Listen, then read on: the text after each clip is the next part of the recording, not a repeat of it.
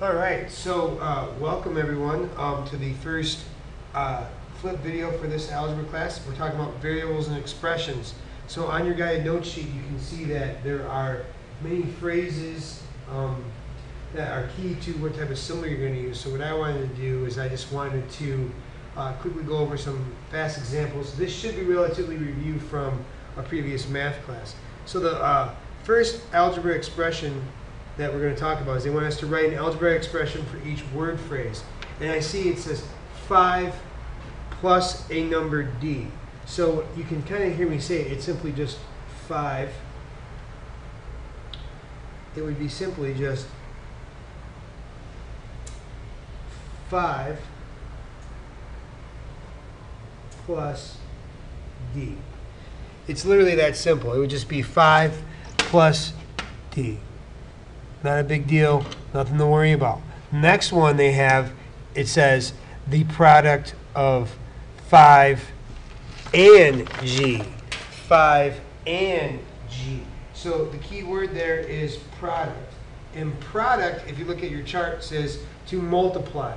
So we're going to go ahead and say that the product of 5 and g. So you just write 5, and you can either write times g, or you can write it as 5g and you're good to go. Uh, the next one says 11 fewer than a number f. 11 fewer than a number f. Now, you don't see the phrase fewer than, but it says, when you, when you have this situation, it's saying that it's 11 smaller than some number f. So you're going to say it's f minus 11. Okay? Not 11 minus f. Next one, it says 17 less h less than h. So you can say that it is 17 less than h.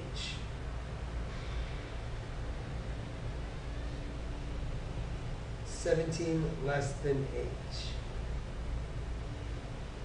That is not seventeen less than h. That is h minus seventeen, and that makes the number seventeen smaller than h the quotient of 20 and t. Quotient means to divide.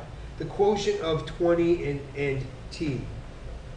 The quotient of 20 and t. So you're going to say 20 divided by t here. The next one says the sum of 12 and 4. So you can just write it as 12 plus 4 because sum means to add. Moving on to the next, what if you have it the other way? What if I have something like h plus 6? Well, you can write that as the sum of 6 and a number h. If you have something like m minus 5, you could say that it is, uh, you using your chart, you could say 5 less than a number m. If you have this, q, and then you got the time symbol in 10, you could say the product of 10 and a number q. If you have 35 over r, you can say the quotient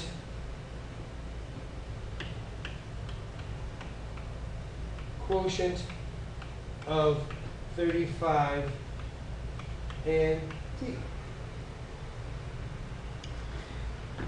h plus m, well plus means sum, so you can say the sum of h and m.